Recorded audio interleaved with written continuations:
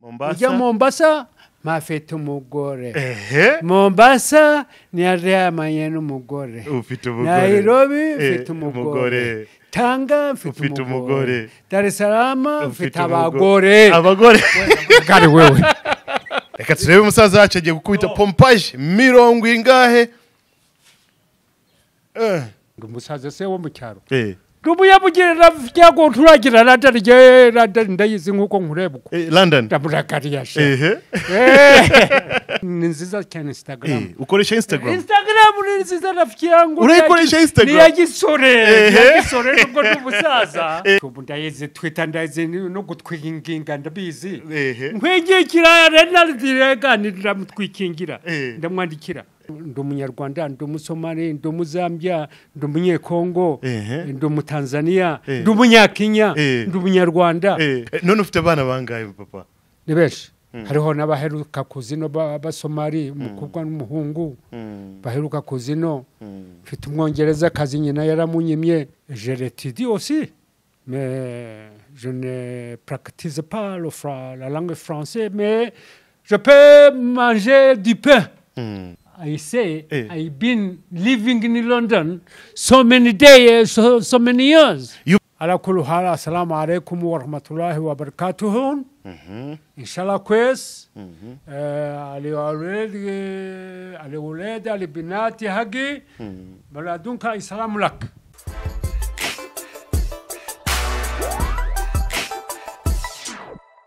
What up, my people? Mumeze gute? My name is Bakti and this is Big Town TV. Remember to subscribe maze umenye gahunda nyinshi zikaba zigiye gukurikira buri munsi buri munsi buri munsi buri kanya and even right now. Eh, so gahunda uyu munsi twafashe eh, ni ukuza gusura umusaza witwa eh, wa, wa mazina eh, irindi nago turizi ariko tumumenyereye nk'umusaza ufite amasunzu hano mu Rwanda. Abasaza benshi cyangwa abantu ba kera benshi bari- baribagiwe imico yo gutereka amasunzu kuva imyaka umunani icyenda icumi yose maze ku- eh, eh, eh, buri munsi mubona mubona afite amasunzu. Ndashaka kumenya impamvu biba bimeze gute. Uyu musaza yatembereye ibihugu byinshi cyane ku isi. Uyu musaza avuga indimi nyinshi cyane zivugwa ku isi n'ibindi byinshi bitandukanye. So wowe urimo gukurikira gahunda zacu uyu munsi tugende tujye kureba uyu musaza. Nimba ari butwemere ko tuganira nawe simbizi. Ariko all in all it's gonna be good. Peace. Come we go. Yes yes. Salama mzee nzuri kabisa Mambo safi kabisa Tunakuja kufanya nini? Eh, sasa? tunakuja kusalimia mzee wangu Kunisalimia hunione kila siku nione barabarani wewe mtoto. E, na, na kuona barabarani lakini Acha heshima ndogo. lazima nikuje nyumbani mzee wangu Urumva, kuta kuvoje ku- ku- ku- kuvogera umuntu gusa umusaza nkanje Na- na- mzee. Wewe bundi kabisa so muzi wa hariya hakurya Eh. Unagani bwana? Ah, bi- mzee. Toka, Ah, eh. Sikia, Eh. watu wana- unataka nini zaidi? Nataka tuonge Tufanyie tuzungumze mzee wangu. Tuzungumze nini? Eh, vitu vingi sana. Sasa Fata mikro una- kwanza. niko se- Mi- wewe- mikoro hizi kwanza mzee. Unajuaje vaikavata ndani ya rugwiro Eh, urugwiro urumva reka ndebe nibe eh racanye urumva muri diaspora y'abasomali iriya yabaye mu- hariya mu nama ishinga amategeko narimo. Ehe. Saruke yese diaspora wo muri somaliya eh. Eh. diaspora wo muri Somalia Naam. no no uri umusomali ah wa kabiri. Ndi umunyarwanda akaba n'umu- eh, n'umutanzaniya ndi umutanzaniya ari byo none uri umunyarwanda wa- mi bo afurika nikenda nikienda kairo mimi ni hasani nikienda kongo nazaliwa labo eh? nazaliwa na kongo eh? nikienda huko usuzutya nosebo ketuli baba. Ehe So- unasikia? Sasa hapo hapo na zambia eh, mwapole kwa hii kwai nifunga tuone tu unataka nini zaidi? Nikufanyizie icyanzanye hano nje na- nifuzaga ko tuganira urabona abasaza nje ndabakunda cyane baba bafite ibintu byinshi twebwe tukiri batoya ntabwo tubizi baradutaye baradutaye barajugunya barajugunya umutamba yano umusaza ntacyo amaze Eh, umusaza aho kuri- kurya ubwo- konka umwana warwo Eh. umwana niwo ururya Eh. ararurya ibi ni amambu. Ah, ah, nimba abandi ba- bataye abasaza ngewe ntabwo nata abasaza. Ntugate abasaza. Yeah. yari abasaza baragana ukurikije umusaza wagera ku byo wakuramo akantu na kamwe kagufasha mu buzima. Eh, karibu sasa. asante sana asante sana. Eh, amasunzu. Twaza kubigana by'amasunzu. Tu- twicara hese. Karibu. Cyangwa nkujyane muri salo? Eh, na hano nta kibazo. Hano haranduye gatoya ariko njye ndicara kuri injerekani hano. We cara aho ngaho yicarira aho ngaho kuri hano ndicara hano karibu tena asante sana mzee wangu witwa nde njyewe eh, nitwa bakti bagiteri eh, bakti Ah, umunyarwanda sasa wowe uri umuzungu bagiteri uzi icyo bivuga wowe mu kinyarwanda bivuga iki Nda- ndabizi se ko ari ikifaransa nyine baritire ntawe ubizi vuga ry'ikinyarwanda nitwa nkubiri yes! urakubira uruzi rero ntawe ukuza imbere. Ubwo ni ubutwari. Wararitaye rero uravuga ngo riripaga si wowe warivuze? Ni abanyamahanga. Abanyamahanga nibo barivuze? Ngo ibyawe numva kugira ngo agutegeke. Kirisitu ntiyabayeho. Kristo namba yesu. Yesu ntiyabayeho nta ah yesu yabayeho. Arakini kristo aramwihakana yezu sasa kristo na yesu cumi na gatandatu umurongo wa makumyabiri. Matayo cumi na gatandatu umurongo wa makumyabiri. Eh. ngo ntuzagire uwo abihanangiriza ngo ntuzagire uwo wita yuko ari we kristo?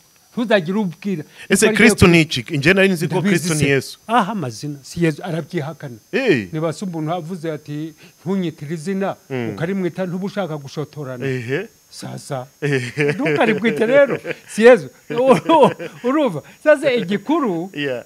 Umunyarwanda ntabwo ari umu- umunyarwanda ni we munyarwanda ari byo. Urumva nagenze ibihugu Eh, byinshi eh, tuvuge tuvuge james eh, tuvuge umuntu yitwa ndayikunda james iri kristo ni irihe? Iri nyarwanda iri pagani ni irihe? pagani ni irihe? Sasa wowe uremera yuko nyarwanda wowe pumbafu bushaka Eh, uremera yuko umuntu w'umunyamahanga kukubwira ngo iwanyu uri pumbafu Eh. ngo waboneho hatagatifu ngo mumuterekerere terekere ngo wowe bya ubigaye ubi? Sasa imana Eh. iravuga iti Mm. eh, senga imana yanjye ariyo mana yawe usenge data ari we so Mm. satu uko niko yezu yavuze. Senga imana noneho ukunda ababyeyi bawe ntiwiyange. Uravuga ngo ababyeyi bawe ni abapagani imana irabyemera rero. Eh, niva. ntabwo bishoboka. Niba se aba barapfuye na bariya bagapfa kuki uvuga bariya ntuvuga abawe Mm. Ye, iyo ni inferiority yani uwigize agateba agira ate? Ayora ivu ese papa witwa nde? Okay well nitwa mwene mazina Mm. singira izina urabibona rero yuko icya- icyakora igihe sekuru ndakizi Mm. ndi mwene mazina wa biyenzi wa rubirima wa sebisusa wa byavu byavu bya sesonga sesonga ya makara makara ya kiramira kiramira cya mucuzi mucuzi wa wa nyantabana nyantabana wa wa bugirande bugirande wa ngoga ngoga wa gihinira gihinira cya sagahutu sagahutu wa mututsi. Wa serwega serwega rwa mututsi. Wa gihanga cyahanze inka n'ingoma. Okay. Guma guma guma guma guma. Sasa jewe Ehe. Eh, niyise karimanzira? Karimanzira. Eh, watubwiye ko na yani inzira niyo mpinga eh. niyo nsarura inzira inzira. Eh, urumva Eh, karimanzira. Mbe- mbere wari watubwiye ngo ntabwo uzi izina ryawe Eh, yes eh, ntabwo nzi izina ryanjye navuye iwacu mfite imyaka nka cumi n'ine nitwa rubabazangabo uwo rubabazangabo. Data yangiriye nawe uko mbireba. Mm. icyakora ndamusaba imbabazi. Mm. kunyita rubabazangabo rubabaza ngabo. Uwo rubabazangabo Mhm. yari avoka Mm. aserukira abagereka hariya ku rwesero rwa nyanza. Okay barwana n'ibwami. Ngo babaroza igituntu ngo bishaye rwogera yabaroza igituntu bijya mu nzika z'abanyarwanda. Urumva kugera eh, baciwe Mm. ari byo sogokuru wanjye uwo witwa biyenzi Mm. niwo wari umutware wa bwanamukari bwanamukari aho byavuye byavuye ku mwarabu yita rwabugiri bwanamukari ngo amukubita iki yaje kubaza abacakara Mm.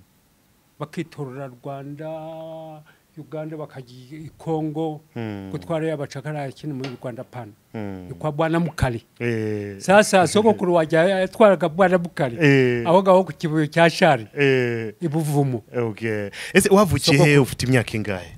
okay navukiye mu matyazo ya rukira Mm. mfite imyaka hafi y'ibuye Mhm. Urumva arakidira cyakubita imitozo. Eh. Urumva Eh, ni nka za mirongo inani gutya. Eh. muri za mirongo ine. Muri mirongo ine cyakora muri mirongo itanu na gatandatu nari namaze gutumuka kera Ehe.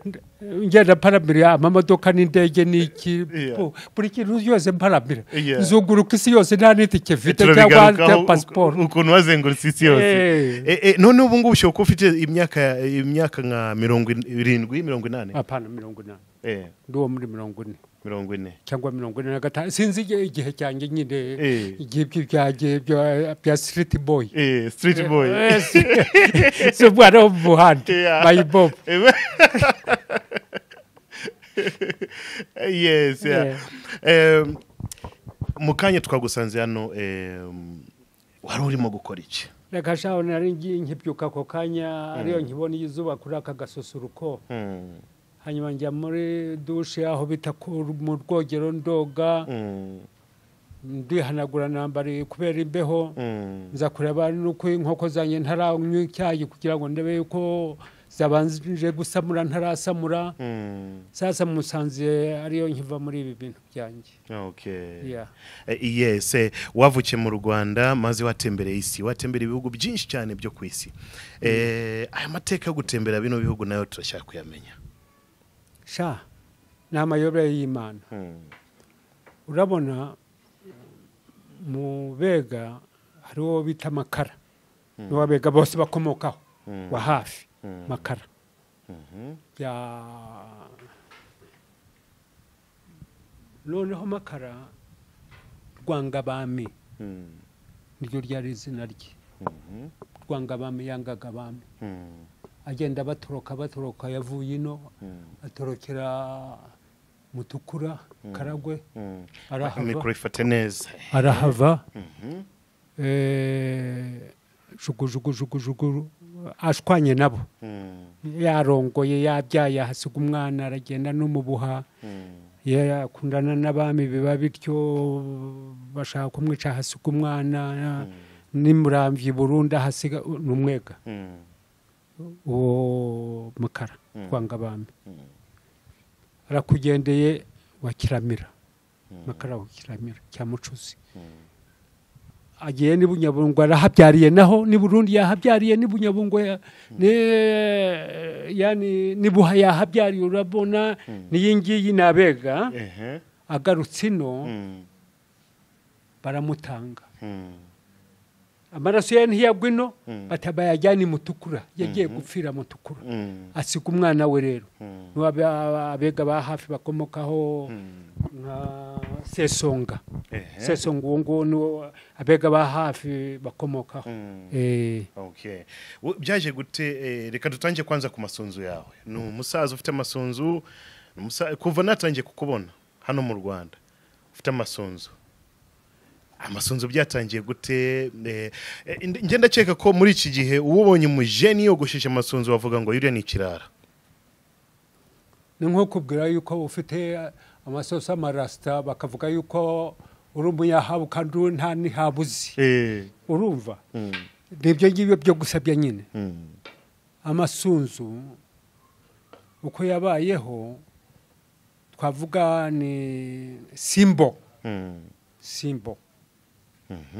Iranga. Mm, kuko abirabura bose ahantu hose aho nagiye mm. ubwo ntangira kugera muri za 56 muri mirongo itanu na gatandatu abaconga amenyo. Mm, abavanamo amenyo abisharambura. Umukasa y'umumenya kuri iyi maka buri muntu wese yari afite maka sasa maka y'umunyarwanda aho kugira ngo yisharambure yigire mubi acura icyuma mu butare muvuga yuko ari abapagani nyine wa mugani wanyu. Amenya icyuma amenya kugicura urumva kugicura ntibyoroshye ni ubuhanga ubanza kugicanira kikayonga kikoroha ukagityaza urumva ni umwuga wundi ukamenya kwikemura imisatsi aho idakwiriye kujya ukigira umuntu nyine urumva yuko uri sivirize uri imfura. Ubupfura ni sivirizasiyo waba utayikera sasa umunyarwanda trademark ye ni ukogosha amasunzu. Agatega amasunzu. Amasunzu ntibayogosha barayatega cyangwa bakayasibura. Amasunzu.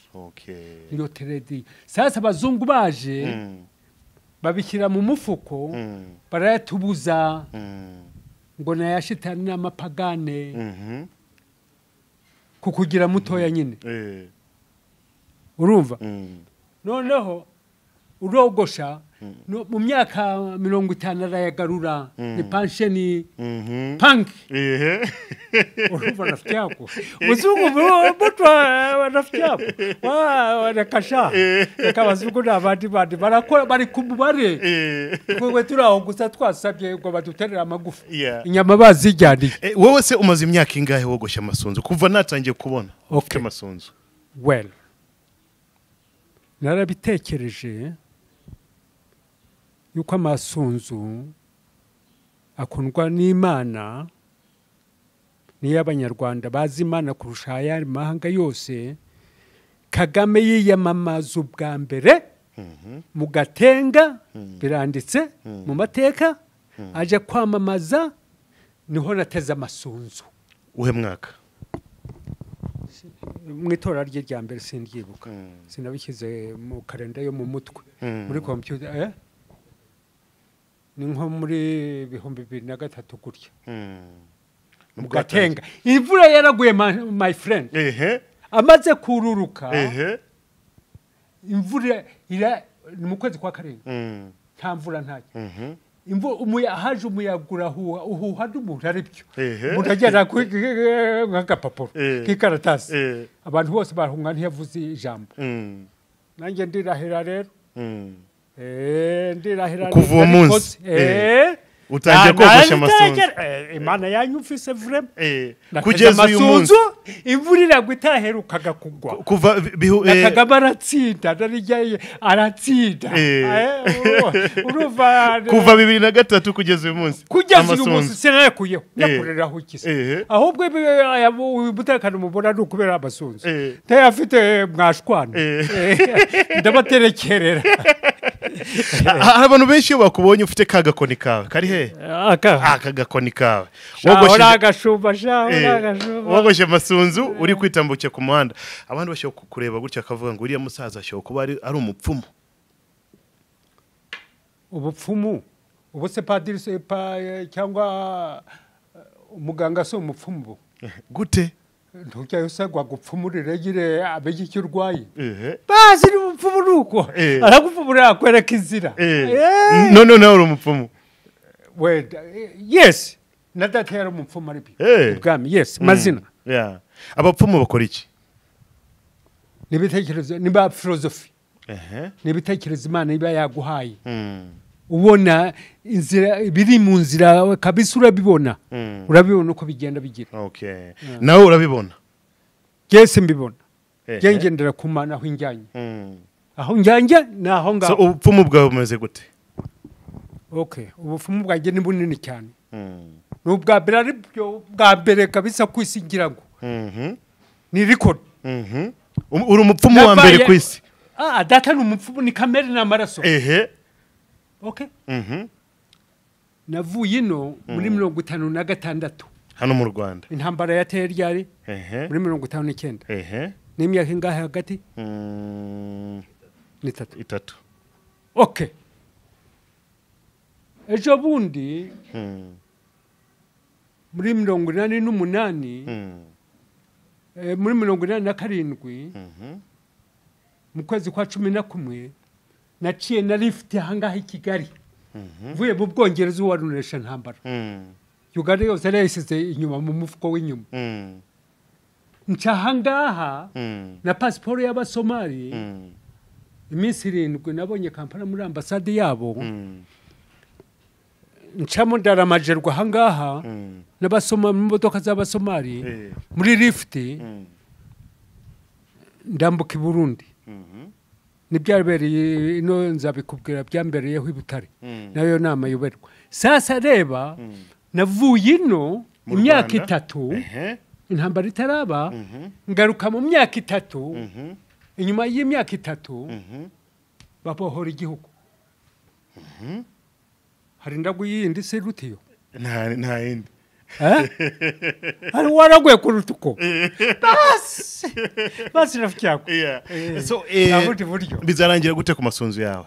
Yazakomeza ntabwo mpaka- aza kumukozi wogosha ngera ku munyarwanda na- nananirwa kogosha. Eh. gucura icyuma. Ehe. kandi ntiyabishobora Eh, ntabwo Eh, aho shaza yareka. Eh, noneho bano gusokoza se. Wowe Eh. uravuga kogosha? Kogosha amasunzu gusokoza se. Kuyasokoza se. Reba kugira ngo imigano yonyine niyo spesiyali y'igisokozo Mhm. imigano rugano. Mm. Uyisongore. Mm. ni akandi kazi ni ugutyaza cya cyuma wacukuye ni ubushakashatsi bwa yuniverisite Mm. noneho ukibaze ugire aho ufatira Mm. n'amaguru yacyo hanyuma n'amano yacyo. Eh, kugira ngo ya misatsi nyine uyirambure. Mm. ye kwizingazinga nk'aho uba mu gipori Mm. mu giputa Eh. buya bugiye buya bugiye buya bugiye kuva ninde ukogosha amasunzu anyway mfite abantu babiri igikondo Mm. ahitwa amajerwa babiri eh, saro ebyiri Mm. okay nkagira indi i butare nagiye i butare. Eh, mu byumweru bibiri iteka ndasibura sibura kuwa kane okay muze uvuga indimi zingahe Lo! mvuga indimi shaho zingahe se shaho ko ndi karimazira nk'uko nakubwiye ko nari hinze inzira si n'indimi gusa abagore nibo banyigishaga indimi Eh, ufite abagore bangahe? Niho ni ho ahangaha hararyoshye uruva ah bireke Eh, eh, bireke reka kandi numve. karimazira ariko nakubwiye ndi Karimanzira, eh. uruva okay. Aho ngiye hose siga umugore inyuma Ehe. ngafata undi aho ngiye. Byanyobeye arakira atari ukwigira Ehe. byanyobeye nabugiye nabuze ukuntu nabuze ukuntu nyine urumva ru- ah, yuko ari ugusiragariga Eh. okay sasa Allahu akbar weshi Yeah. henshi muri kongo ndugu yangu Yeah. ringara ndakubitanira inyuma yanjye Ehe. n'igiswahili cya kongo ni ikindi kindi n'urundi rurimi Yeah. Eh, kizambya kibemba mwapole nipo mukwaye ndagikubita mu byomba Mm. nka kugendera muri kampala sozotya genda byitaga ngo ni ugusura uku gusura yiri Ehe. kube ni ukubyuka Eh. wasura hotel Eh, wasozora ninasura harusura neza se ko bose imisozi eh, imisozi inuka Eh, wasura hotel ya eh, za- urumva icyongereza kandi nta mashuri nagiyemo. Mm. ntabwo wigeze ujya mu ndandika mashuri. icyongereza mfite ibitabo ibi. Eh. ibi by'icyongereza. Wiyandikira? Yep.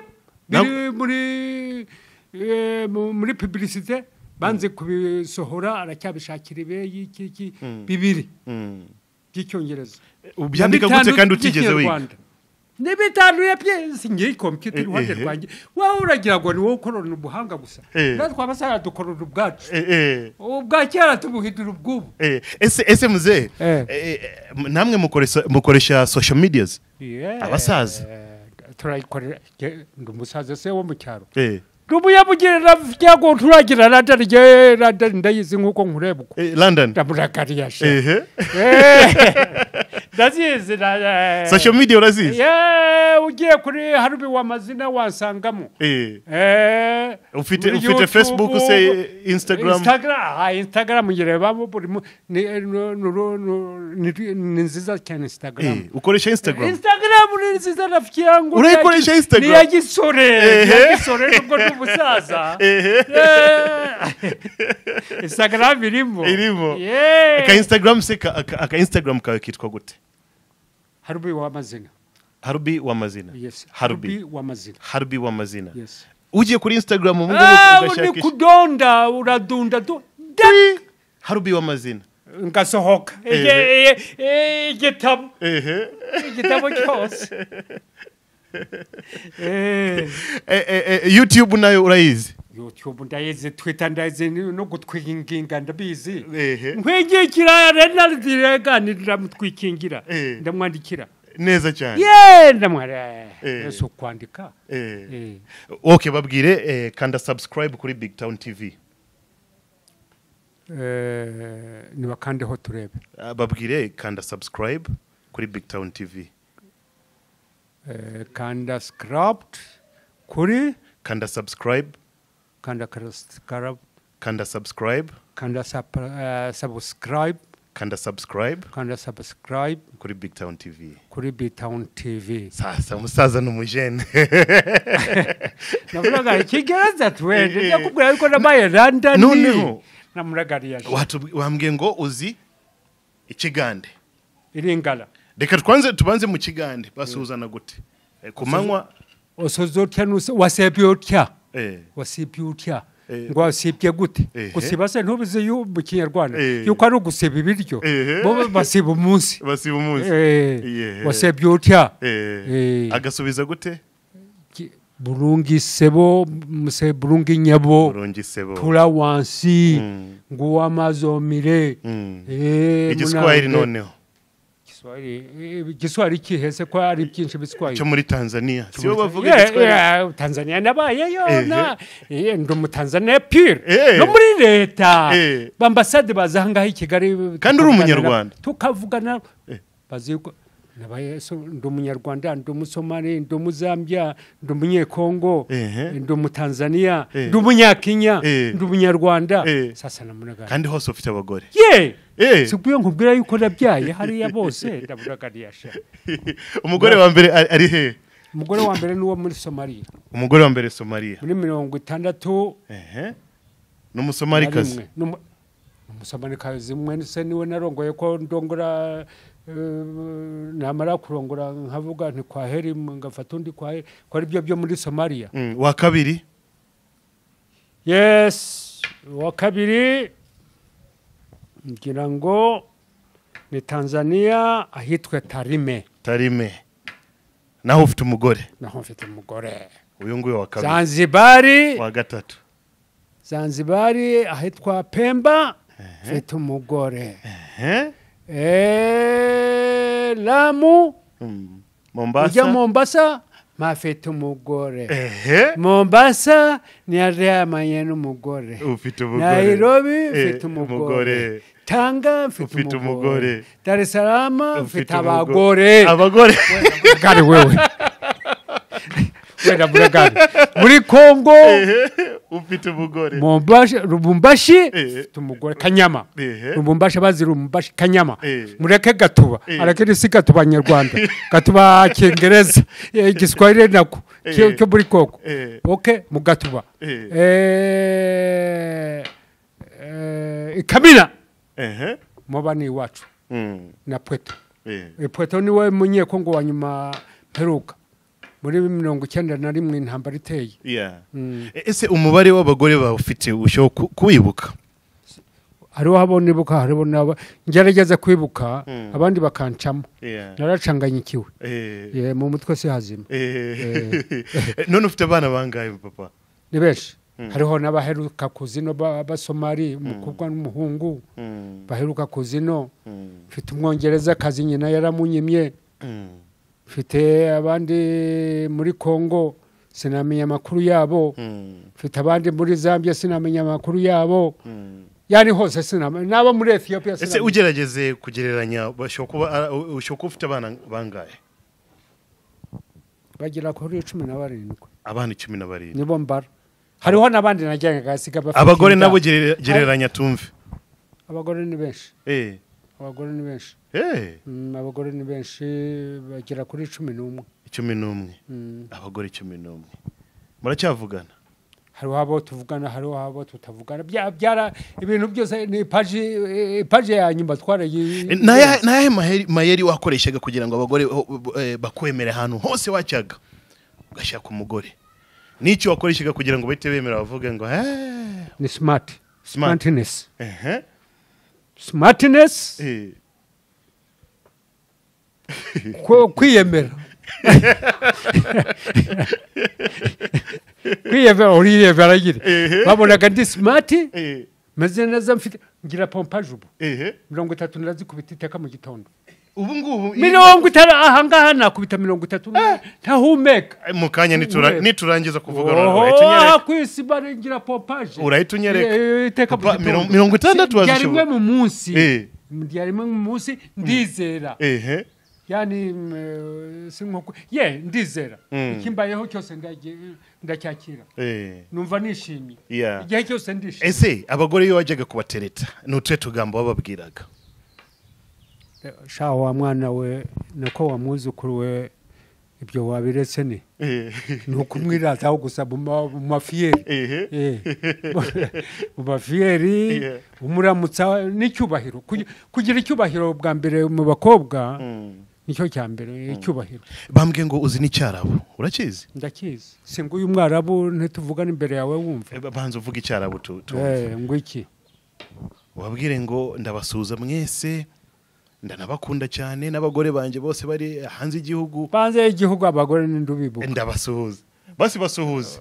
Mu cyarabu ala kullu hal assalamu alaikum wa rahmatullahi wa barakatuhu. Mhm, inshallah kwes. Mhm, ali aliwaledi ali alibinati hagi. Mhm. baladunka isalamu lak. Assalamu. alaykum alaikum wa rahmatullahi wa barakatuh. Wa jazakallah. ya bini arab Okay. icyo ni icyarabu igikongomani noneho ringara ringara ukeye wapi? Ukeye musala gusala wapi? Na musala uzo usalake musala gani? Awa na na mboka. Na mboka. Eh, tukana na mboka. Tulati malamo. Hmm. tutambuli tuli tukana na, tukana mboka ni ugutuka bamboka. A a eh, tukenda na mbuga eh. tuji muhira. Eh, tukana na mboka tukana na mbuga na mbuga eh, na mboga Eh, na mboga eh, tugen- tugana na mboga tukenda na mboga okay. Igihe ubwa nyuma bagiraga iminsi mikuru abanyekongo bakaza sinzi kama ni umupira kama ni igihe kongo yatsindaga. Hmm, twabonanye na, na, na ba televiziyo. Hmm, bikongo hmm, bampaye interview mm. ndavuga nti kabila oye oye kagame oye oye wameweka ndani ya televizia kwao, kwao. Yeah. wale wanyarwanda walikuwa wamefungwa Mm. wamewafungulia hmm saa hiyo hiyo wamefu si wamesikia sauti kwa hakuna Wanyarwanda wanawazarau mnyamaha mtu yoyote hata kudharauliwa mpe mm, heshima yake. Kila mtu kila kitu kipe buri buri kintu gihe ukuri kwacyo mm, basi. nibyo byiza eh, yes. Eh, igisomaria ni wabo mm -hmm. Igisomaliya Eh. Ah, eh, si cyo gutafutisha Eh. si cyo gushakisha ufiteho n'umugore Eh, kandi beve Eh. Umugore we- reka kuntuka. Yeah, ufite abagore Yeah, mfite abagore Yeah. ndakuraganisha biragenda se Yeah. Eh? Okay. urumva Eh. mahashekite ehe mahashekte mahashekite u- yani uravuga iki ehe mahati kubaride wabyutse wabyutse ute hmm. kubara kubara mahati kubaride mahati ah, kubara nekeni gende nekeni hage hehe tehere e. nekeni magalada tujye mu e mujyi e.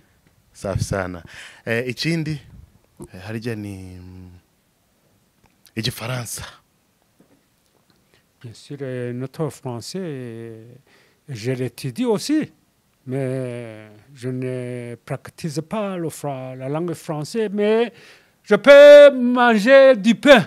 Hmm. Ben ouais, je peux gagner euh, du thé, euh, du pain, je peux gagner de l'eau, ça suffit. Ou bien je gagne, je gagne euh, dormir. icyongereza reka dusoze mu cyongereza. Icyongereza ni iwacu. Ah, mu bwongereza too much my man i don't speak that. Yeah. Eh, mu cyongereza Do you speak eh, English? ni- iwabo mu cyongereza. Eh, yeah. i been in london my friend. Bin laden is your friend? Yeah. I I say Eh. I've been living in London so many days, so, so many years. you've been in, you've been in london I just fucking married a, a princess. in london Yeah. princess who Princess, uh, uh, uh, she's a cousin uh-huh. of Diane. princess diana Oh, Diana. you married her Yes. Hey. Yeah. she's I- your wife too No, he was my, uh, you know, my uh, pastime wife. okay yeah. Just a passive time. yeah uh, so, so uh, tell us how many countries uh, have you visited Well, several. Start Burundi, burundi one uh, Tanzania. Wa, wa, Tan- tanzania two the step by step. huh? okay One first, second. okay I do that. okay one, okay. t- one uh, Burundi, two Tanzania, three Kenya, four Somalia, five Zambia, uh, six Congo, seven Malawi, eight uh, Botswana, nine uh, Saudi Arabia, ten uh, Thailand, Bangkok, eleven. Bombay, India. twelve. Well, I just say Somalia. I just say Saudi Arabia. Yeah, I just say uh, Yemeni, thirteen. Kiev, fourteen. Moscow, fifteen. London, sixteen Egypt, seventeen Sudan. eighteen Well, uganda Uga- Uganda, yeah, Eh. yeah, of course, of Oh, course, Lum- Uganda. eh. Oluganda lumanyi. eh, Eh. kati oli wa- oli wa kabi Ah, ndi wa ndi wa bulungi si wa kabi ndi wa bulungi Ah, ah, kati kati kati abanauganda ba- bakugamba eh, iyo wakoze so ikintu kya tabu. Bakugamba ko "Eh, oli wa kabi taata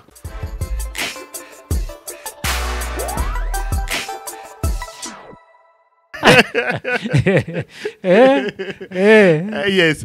Eh, muze ufite amateka menshi maremare. Mare ma- ma- manini. Twifuza kuganira nawe ariko uyu munsi twashaka kugusura tu tuzagaruka. Ndugu yangu mu giswahili baravuga ngo karibu. Ngo uzaba wizanye none se uzaba ugaruka? No- noneho. uzaba uzi iwawe Eh. ubugeni bwashize bati umushyitsi ariko tutaragenda. Eh. Abaso- abasore b'ubu ngubu urabagira inama nabo kogosha amasunzu mwawe? Yes! Kubera iki? Kubera iki? Nta wundi muntu wogoshe ku isi uretse umunyarwanda. Bose bari bafite imisatsi nk'iyo yawe n'indi igera mu kibuno. Mm. ba joseph ba matayo bande bande yande ntawawugoshe Mhm. n'aba baje habari bari livingston. Mm. tuzabiganiraho yo livingston yageze kwa data wacu kwa data sogokuru wanjye biyenzi. Mm. yagarukiye kwa biyenzi. Igihe bitaga ba bwana mukari nyine abarabu. Tuzabiganiraho. Sasa abanyarwanda urumva eh, aba, abana Eh, ba- nu- ni ukwigira barigira. Bagomba kogosha yes amasunzu barigira. Eh. Bagira umuco wabo bwite wihariye umenyekana yuko ari abanyarwanda. Mm. basi ni ukwikunda. Ni ukwikunda. Ye ni ukwikunda kwereka abantu yuko umunyarwanda ari we wa mbere wogoshe nta wundi muntu urogosha ku isi. Akogosha amasunzu. Akogosha amasunzu. Eh. Kandi ni moderi Eh. nturuzi yuko buraya ari iza panke ehe. E- ese muze ujya wumva indirimbo zi- z'iki gihe? Z'ubu ngubu. Reka da. Mm. ntumbaze indirimbo z'ubu sinzishaka. Sinazikunda. kubera iki? Ntabwo zifite biti nziza. Ziragenda zisaragurika. Eh. ntumva ibyo bavuga? Eh. ni ibitutsi? Mhm. ni ibintu bizima? N'igihe ntiwabimenya. Eh. urumva? Ah ntibazi kuririmba. Zose kandi ni kimwe. Ugiye mu moko yose. Nibyo ngibyo Mhm. burya igisomari cyari cyiza cyane. Mm. uzagerageze wumve igisomari baririmba neza hari cyane. akaririmbo k'igisomari uzi? Nari nzizi cyakora taratada weye wahanu dolobe taratada weye wahanu ndasege kudodonaye wakugudale teyahuweke kudurte idono. Weye, hejuru yawe narababaye hejuru yawe ntako ntagize eh, hejuru yawe eh, nshaka nanjye ngushake urakoze cyane muzehe reka duhaguruke gatoya Eh, ariko mu guhaguruka nifuzaga kumenya nimba uzi guhamiriza reka shaka guhamiriza intore cyane ari intore cyane Eh! ya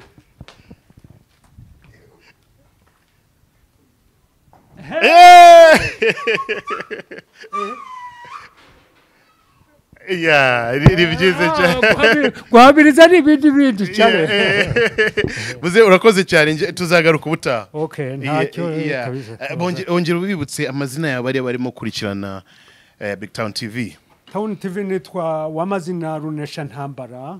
Mm. ni data yitwaga amazina wa biyenze bya rubinura rwa nyagasaza. Mm. rwa byavu byavu bya Ha- hari akantu nibutse wambwiye ngo ushobora gukubita pompaje mi- mirongo ingahe? Mirongo itandatu. Mm. Mm, wabikora kweli papa? Nonaha. Eh. reka mbikore Reka reka nguvanire inzira Ehe. na nishyushye. Eh, tugaruke hariya ni ho hanini. Ng- ngwino hano. Ah, eh, eh, nari nibagiwe. Nari nibagiwe. Re- reka ari byo na nishyushye. Ehe, urabona yuko hari imbeho reka mbe nishyushye. Eh, hano. Sawa sawa. Eh, hano ni hanini. Ni hanini. Eh, reka turebe umusaza wacu agiye gukubita pompage pompaje mirongo ingahe?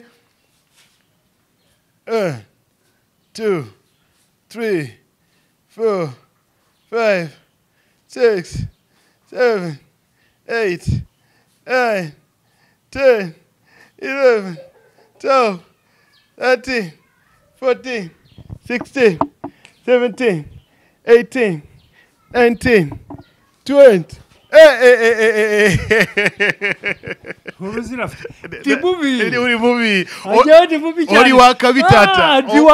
uruzira ndi wa ndi wa wange karungi wa kabiri. Eh, uri. Mubi cyane uri we mara ryose bo okay. Asante rafiki yangu Muze, basi Karame. nta n'impamvu yo kumerekeza hano birahagije nje ndeka nkomeze gahunda buriya turi kumwe izagaruka ubutaha okay sawa sawa rafiki yangu asante wangu. Poa moto. yeah. Yes yeah yeah yeah. So ngira ngo mwabibonye ikiganiro kiryoshye cyane.